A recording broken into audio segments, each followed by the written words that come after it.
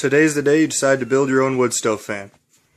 What you need, a pair of scissors, sharp knife or a box cutter, pair of needle nose pliers, some super glue, some steel wire, a small low voltage motor, a recycled disc from a broken CD player, large chunky CPU heatsink or CPU cooler. Went down to the local PC shop, just asked the guy for any CPU coolers you may have laying around.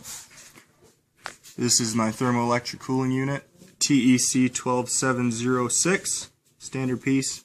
Got that on eBay for about two bucks.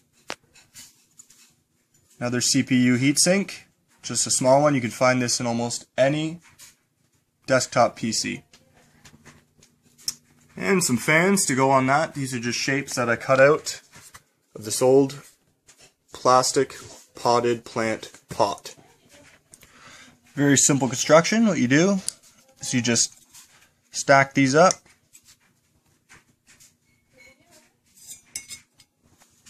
Attach it all with the wire. Connect your wires. Put your fan on. And you're done. Okay, so you've got it all together. You've attached it with your wires. If you're worried about which side's the hot side and which side's the cold side of your thermoelectric module, you don't really need to worry about that. You just attach your wires. If it spins the wrong way, switch them and it'll spin the right way. Does not matter. For your fan, see that's the piece of plastic that used to spin the CD from the CD player. So just put your fan on.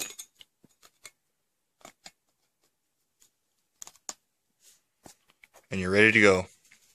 Let's see how it works.